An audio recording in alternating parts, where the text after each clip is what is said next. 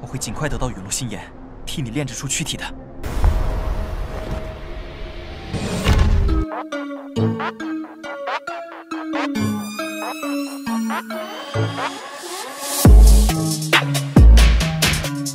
Halo guys, selamat datang kembali dalam pembahasan Battle Through the Heavens versi novel.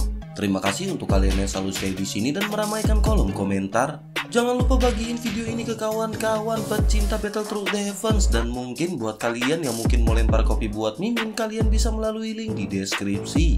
Kuilah kita kancutkan cerita Xiaoyan. Cerita masih berkancut dengan kelompok Xiaoyan yang berusaha untuk memecahkan misteri dari prasasti. Pada saat ini Nan Erming pun berniat untuk ikut mencoba dan segera meneteskan darahnya ke atas tablet batu.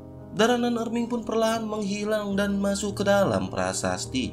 Semua orang terpana pada pemandangan ini dan Lei Shaolong pada saat ini tiba-tiba berdiri. Pada saat ini Li Shaolong menatap lubang tempat darah menghilang dengan sangat terjekut. Nan Erming juga pada saat ini menjadi gugup dan mencoba yang terbaik untuk mengangkat prasasti dengan cemas. Namun hasilnya pada saat ini masih sama dengan Li Shaolong dan Nan Erming tidak bisa menggerakkan prasasti tersebut. Melihat hal tersebut, Xiaoyan pun segera melangkah maju dan segera meneteskan darahnya di atas tablet batu. Xiaoyan berkata mungkinkah ada yang salah dengan tablet batu ini? Semua orang pun seketika mengelilingi prasasti dengan gugup dan menatap aliran darah merah cerah yang berada di atasnya. Mereka menyaksikan darah menghilang di prasasti dengan emosi yang rumit. Pada saat ini semua orang benar-benar tidak tahu harus berkata apa lagi. Akhirnya tak lama kemudian Li Shaolong pun segera kembali normal dan memiliki kemampuan analisis yang kuat. Ia berkata bahwa darah miliknya Nan Erming dan Xiaoyan dapat menembus tablet batu. Nan Erming dan Li Shaolong telah mencoba untuk mengangkatnya namun tidak ada pergerakan. Dengan begitu berarti prasasti tersebut tidak menolak darah mereka. Ia pun segera menoleh ke arah Xiaozan dan berkata sementara Xiaozan pada saat itu darahnya tidak bisa menembus.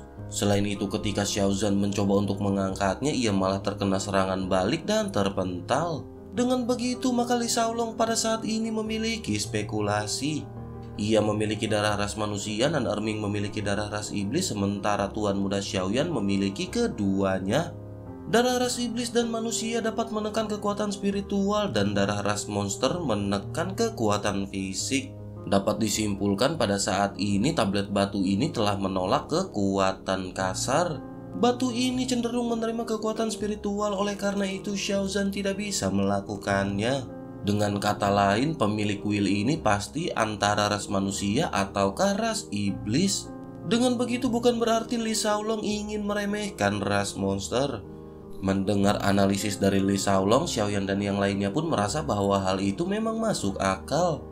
Semua orang pada saat ini memandang ke arah Xiaozan tanpa berkata-kata. Sementara itu pada saat ini Xiaozan memalingkan wajahnya dengan sedikit sedih. Di sisi lain, pada saat ini Xiaoyan benar-benar bingung sebelum akhirnya segera mengajukan pertanyaan. Xiaoyan berkata bahwa ia tidak mengerti sesuatu hal. Di dalam instruksi sebelumnya sangat jelas bahwa hal ini membutuhkan darah untuk membuka. Dengan begitu seharusnya tidak bergantung pada ras apakah orang yang akan membukanya. Mendengar perkataan tersebut Li Shaolong pada saat ini benar-benar merasakan kebingungan. Di tengah-tengah kebingungan ini ia hanya bisa menghela nafas sebelum akhirnya menoleh ke arah Xiaoyan. Ia segera berkata bahwa pada saat ini hanya Tuan Muda Xiaoyan yang belum menggerakkan prasasti. Oleh karena itu sebaiknya pada saat ini Tuan Muda segera mencoba untuk menggerakkannya. Mendengar perkataan dan merasakan harapan di mata Li Shaolong akhirnya Xiaoyan pun segera perlahan berjalan ke tablet batu. Xiaoyan menatap mantap ke arah tablet batu. Namun pada saat ini Xiaoyan tidak berani meremehkannya karena bagaimana mungkin dengan kekuatan Dodi bintang tiganya Xiaoyan bisa menggerakkan batu. Xiaoyan pun segera menghela nafas dan Doki segera melonjak keluar dari tubuhnya. Xiaoyan pun segera mengangkat batu dengan seluruh kekuatannya namun pada saat ini batu tersebut pun tidak bergerak sama sekali. Melihat hal tersebut pada saat ini semua orang benar-benar semakin bingung apa yang harus mereka lakukan. Sementara itu Xiaoyan pada saat ini tidak terjekut sama sekali karena semua ini sudah difikirkan oleh Xiaoyan. Xiaoyan pun pada saat ini tampak berpikir keras sebelum akhirnya Xiaoyan seperti memiliki sebuah pemahaman. Mata Xiaoyan berbinar dan Xiaoyan bergumam apakah mungkin ini bisa dibuka oleh api surgawi dan roh hantu. Tanpa berpikir lagi Xiaoyan pun segera mengeluarkan kekuatan api surgawi dan kekuatan roh hantu di tangannya. Tindakan Xiaoyan ini pun tertangkap mata semua orang dan pada saat ini semua orang menatap ke arah Xiaoyan dengan berapi-api. Akhirnya api surgawi yang menghanguskan dan kekuatan roh hantu yang sangat dingin segera menyebar ke tablet batu hampir pada waktu yang bersamaan. Setelah beberapa saat, akhirnya tablet batu yang sunyi dan panjang itu pun segera menyala. Xiaoyan seketika sangat gembira dan senyum segera muncul di wajahnya. Tak berselang lama prasasti itu tiba-tiba menyala dan cahaya yang menyilaukan segera melonjak. Delapan simbol segera muncul di badan prasasti dan segera membentuk kata api. Begitu kata api ini keluar, batu-batu di permukaan prasasti tersebut retak satu demi satu. Badan prasasti itu pun bergetar hebat di tengah kegembiraan Xiaoyan dan yang lainnya. Akhirnya Xiaoyan pun segera mengeluarkan prasasti itu dengan sedikit kekuatan dan memperlihatkan sebuah gua yang gelap. Begitu gua ini dibuka, cahaya yang sangat lembut terbang keluar sebelum akhirnya menggantung di udara dan bergoyang. Ketika semua orang melihat hal ini lebih dekat, mereka menyadari bahwa itu adalah kotak batu giok. Kotak batu giok itu semerah api sebening kristal dan sepertinya ada kabut yang mengalir di batu giok. Xiaoyan pun segera meraih kotak batu giok dengan tangannya. Pada saat yang bersamaan, sepotong informasi segera muncul di benak Xiaoyan dari kotak batu giok tersebut. Informasi itu menyebutkan bahwa sosok tua pemilik kuil mendapatkan tiga jenis api surgawi pada saat itu. Namun ia tidak bisa menelan dan melebur api surgawi satu sama lain.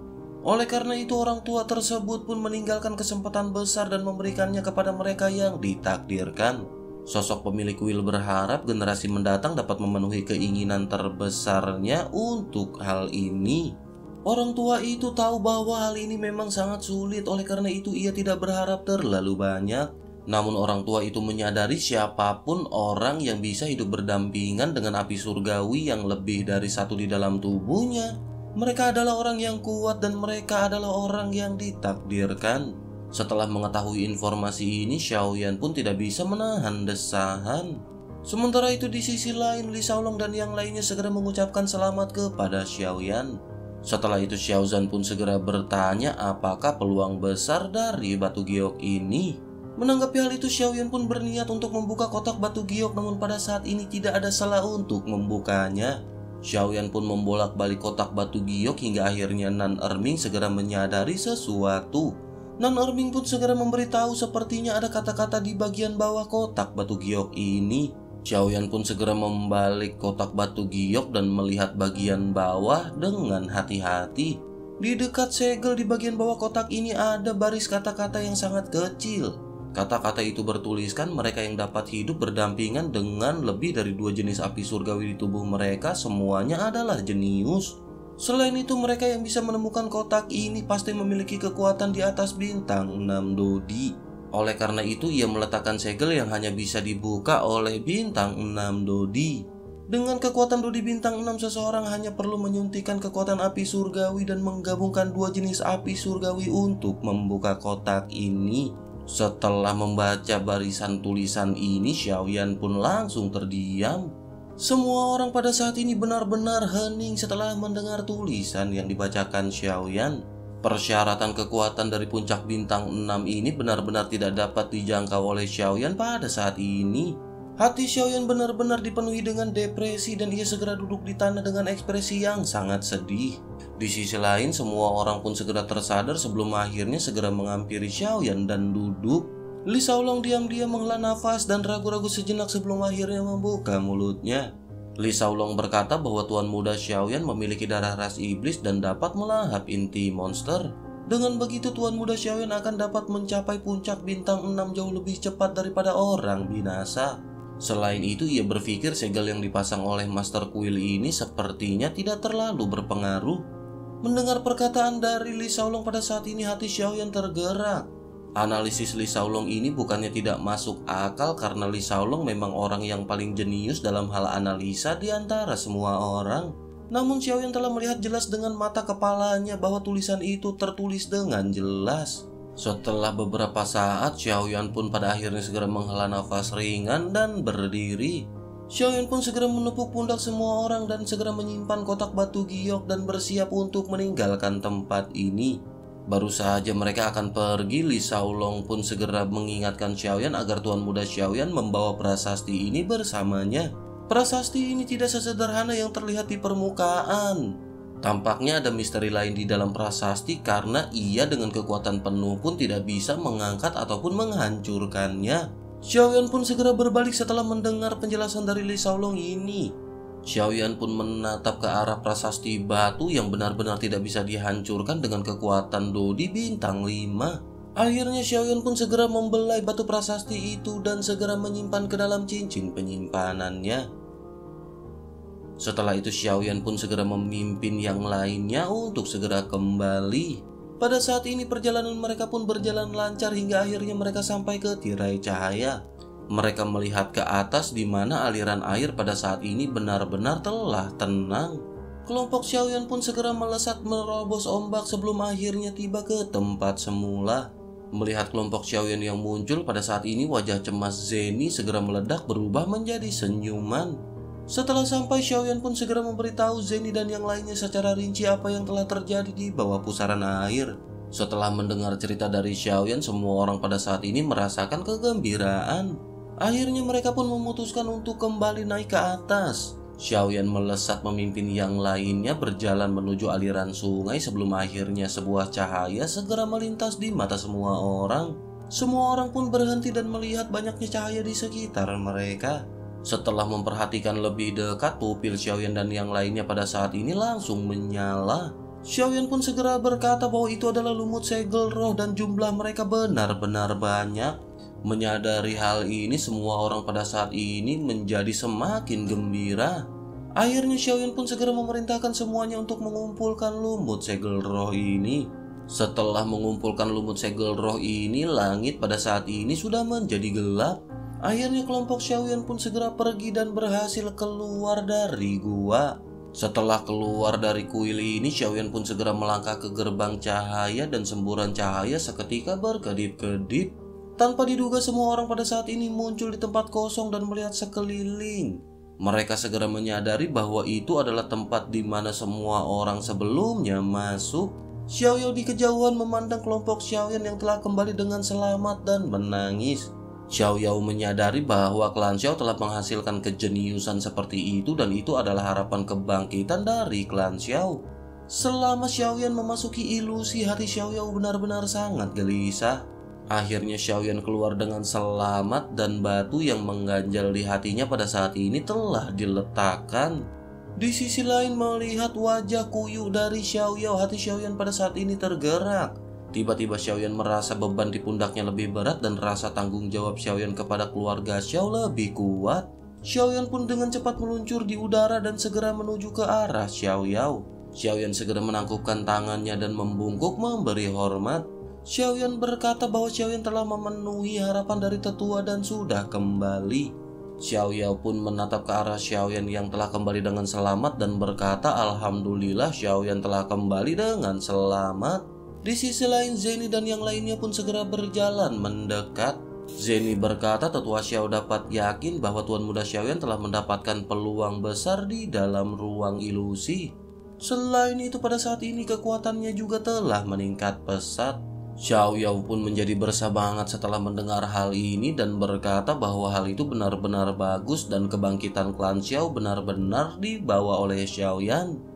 Tak lama setelah itu Xiaoyao sepertinya memikirkan sesuatu dan buru-buru membungkukkan tangannya ke arah Zeni. Dengan sikap yang sangat hormat, Xiaoyao mengungkapkan permintaan maafnya karena ia tidak bisa menemani Nona Zeni. Melihat hal ini, Xiaoyan segera memandang Xiaoyao sebelum akhirnya menoleh ke arah Zeni dalam kebingungan. Pada saat ini banyak gelombang keheranan yang meliputi hati Xiaoyan. Orang-orang di timnya memanggil Zeni dengan sebutan Nona karena Zeni adalah keponakan dari presiden aliansi bisnis. Namun mengapa pada saat ini tetua dari klan Xiao juga memanggil Zeni dengan sebutan seperti itu? Namun Xiaoyan sudah menebak di dalam hatinya bahwa Zeni kemungkinan besar adalah putri kaisar dari umat manusia. Dengan identitas Zeni sebagai putri dari kaisar ras manusia dapat dimengerti jika Xiao Yao memanggilnya dengan sebutan seperti itu.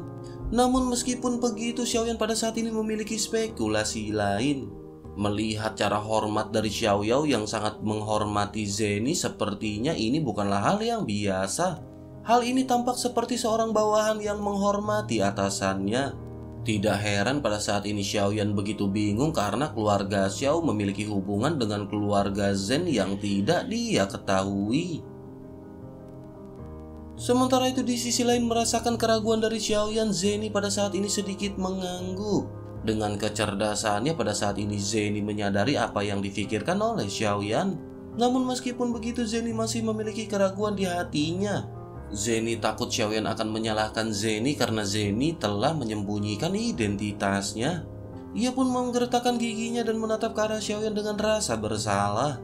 Namun pada saat ini Xiaoyan tersenyum dan memberi Zeni pandangan pengertian. Kedua orang ini adalah orang yang pintar dan memiliki pemahaman yang luas.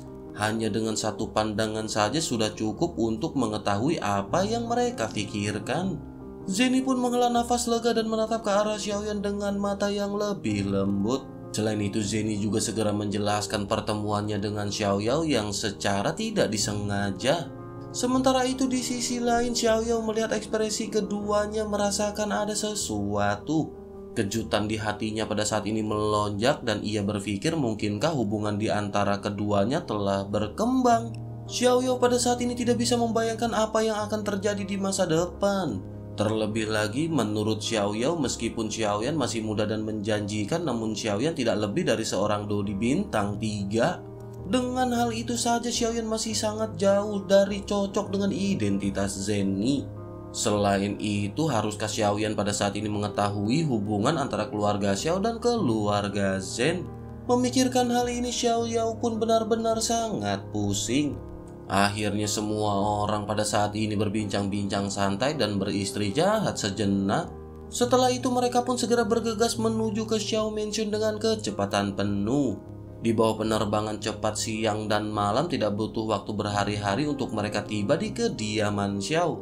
Semua orang pun segera menghela nafas lega ketika mereka sampai. Bersamaan dengan itu mereka pada saat ini merasakan perasaan yang sangat nyaman. Namun pada saat ini Xiaoyan mengerutkan gening dan terlihat tidak bahagia sama sekali. Hal itu dikarenakan Xiaoyan mengetahui dari Zeni bahwa bahan obat untuk memurnikan Zixin atau pil hati ungu tidak dibeli. Pada saat ini Xiaoyan benar-benar merasa tidak nyaman di dalam hatinya. Bahan obat ini bersumber dari kura-kura hati ungu yang merupakan jenis binatang ajaib di zaman kuno.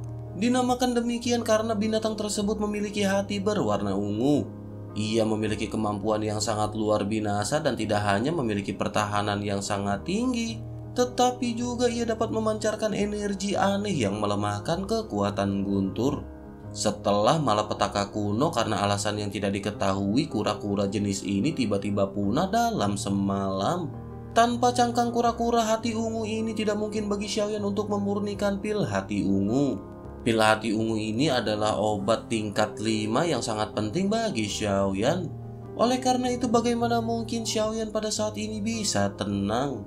Xiaoyan benar-benar membutuhkan pil ini untuk melemahkan kekuatan kesengsaraan Kaisar Bintang 5 dan kesengsaraan Guntur kelima. Ada banyak Dodi Bintang 4 di benua Dodi tetapi Dodi Bintang 5 benar-benar sangat jarang. Hal itu dikarenakan kesengsaraan Kaisar Bintang 5 yang benar-benar memukul mundur semua orang bahkan mengakibatkan kematian. Inilah mengapa sebagian besar orang di benua Dodi berhenti di Dodi Bintang 4. Jika Xiaoyan memiliki pil hati ungu ini, maka itu akan dapat sangat melemahkan kekuatan dari bencana ini. Dengan begitu dapat dikatakan pil ini setara dengan langsung mempromosikan Dodi Bintang 4 ke Dodi Bintang 5. Selain itu jika pil ini dapat dimurnikan dalam jumlah besar maka Dodi Bintang 5 dapat diproduksi secara massal. Dengan efek yang seperti ini maka tidak berlebihan untuk mengatakan bahwa pil tersebut benar-benar melawan surga. Bersamaan dengan kegelisahan dan pemikiran Xiaoyan ini, sebuah suara genit segera terdengar di telinga Xiaoyan. Xiaoyan segera terkejut mengangkat kelapanya dan menghadap ke arah wajah menawan dari King Muer. Pada saat ini Xiaoyan benar-benar melongok dan tidak tahu bagaimana harus berbicara untuk sementara waktu. Sementara itu di sisi lain melihat Xiaoyan yang pongok, King Muer pun menahan nafas dan berjalan ke arah Xiaoyan. Ia pun segera berteriak dengan keras apakah Xiaoyan setelah kembali bahkan tidak mengenalinya. Xiaoyan pun tiba-tiba pulih dan tersenyum pahit. Xiaoyan berkata bahwa pada saat ini ia hanya memiliki banyak masalah untuk difikirkan dan tidak sadar untuk sementara waktu. Menanggapi hal itu King Muer pun cemberut kepada Xiaoyan sebelum akhirnya bertanya bahwa Xiaoyan masih ingat jalan pulang. Mendengar celetukan dari King Muer ini semua orang diam-diam tertawa. Tak lama setelah itu suara dari King Haoran segera terdengar ketika ia berkata akhirnya Xiaoyan sudah kembali. Mendengar hal itu Xiaoyan pun segera buru-buru melangkah maju dan menangkupkan tangannya ke arah King Haoran. King Haoran pun tersenyum dan merasa senang melihat bahwa Xiaoyan pada saat ini benar-benar selamat. Selain itu pada saat ini kekuatannya telah melonjak. King Haoran pun menoleh ke arah yang lainnya sebelum akhirnya berkata sepertinya saudara-saudaranya telah memperoleh banyak hal dari perjalanan ini. Pada saat itu ia berniat untuk menyusul Xiaoyan namun di tengah perjalanan ia mendapatkan kabar genting. Oleh karena itu ia tidak bisa meneruskan perjalanan dan memutuskan untuk kembali dan menangani permasalahan tersebut. Beruntung permasalahan telah berhasil diselesaikan bersamaan dengan kembalinya Xiaoyan. Menanggapi hal itu Xiaoyan pun segera mengangguk dan tersenyum sebelum akhirnya membuka mulutnya. Xiaoyan berkata bahwa itu bukanlah sebuah permasalahan. Dengan bantuan dari tim Xiaoyan ini, Alhamdulillah Xiaoyan pada saat ini berhasil mendapatkan banyak keuntungan. King Haoran pun segera mengucapkan selamat kepada semua orang dan mereka akhirnya berbincang-bincang tipis. Setelah itu Xiaoyan pun segera memperkenalkan Xiaoyao kepada King Haoran. Xiaoyan pun segera menunjuk ke arah Xiaoyao dan menjelaskan bahwa ini adalah tetua dari klan Xiao mereka bernama Tetua Xiaoyao.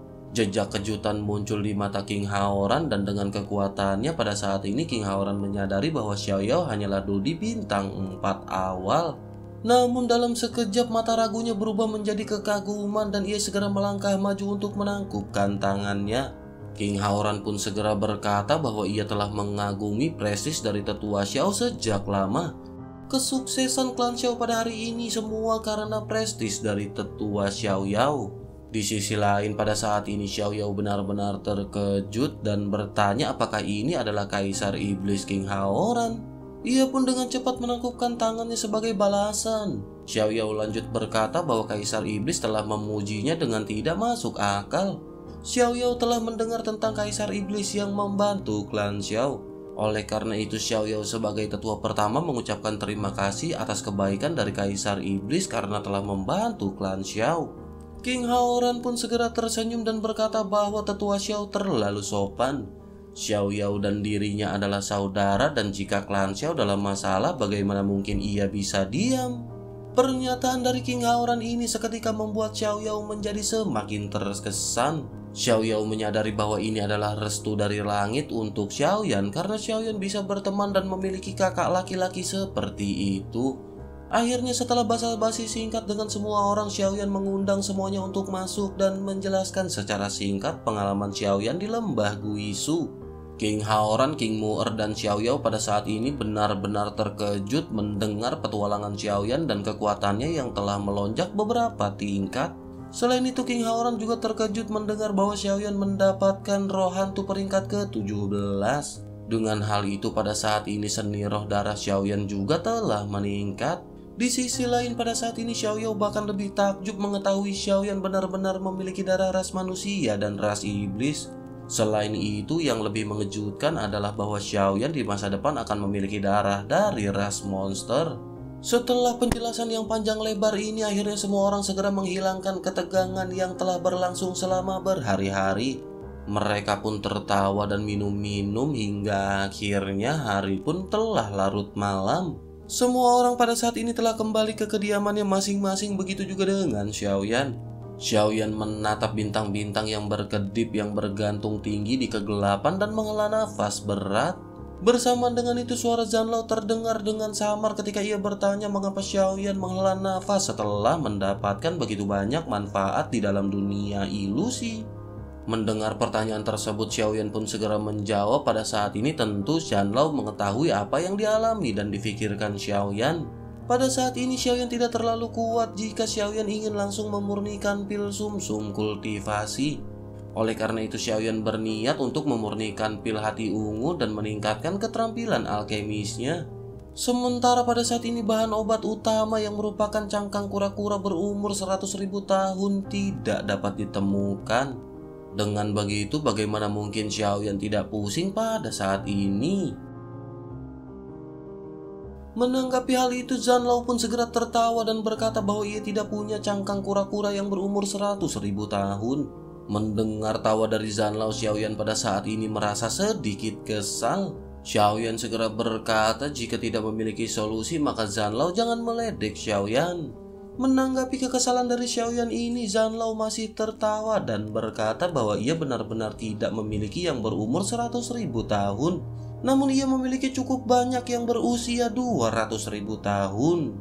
Mata Xiaoyan pun langsung berbinar ketika Xiaoyan menoleh ke arah Zanlao. Xiaoyan pun bertanya apakah Zanlao pada saat ini sedang bercanda. Xiaoyan benar-benar terkejut mendengar apa yang baru saja disebutkan oleh Zanlao. Di sisi lain Zhan Lao pun melambaikan tangannya dan berkata bahwa Xiaoyan buru-buru memarahi Zhan Lao tanpa mendengarkannya.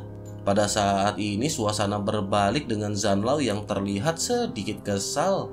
Sementara itu pada saat ini Xiaoyan dengan lembut segera berbicara kepada Zhan Lao.